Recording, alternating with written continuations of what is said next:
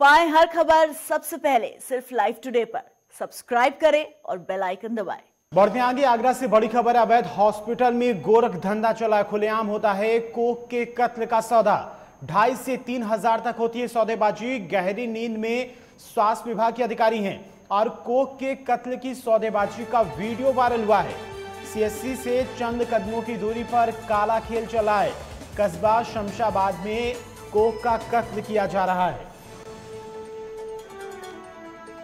तो आगरा से बड़ी खबर है, अवैध हॉस्पिटलों में कोक के कत्ल का गोरख धंधा चल रहा है।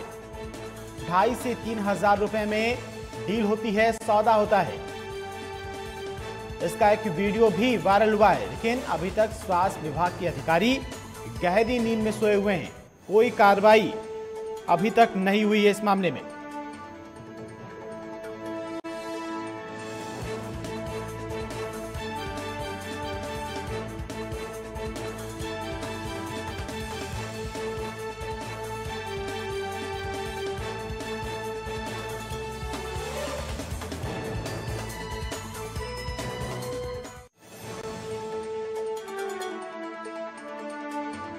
विभाग के अधिकारी हैं। को के कत्ल की सौदेबाजी का वीडियो वायरल हुआ है। सीएससी से चंद कदमों की दूरी पर यह काला खेल चल है, लेकिन स्वास्थ्य विभाग के अधिकारियों को भनक तक नहीं है।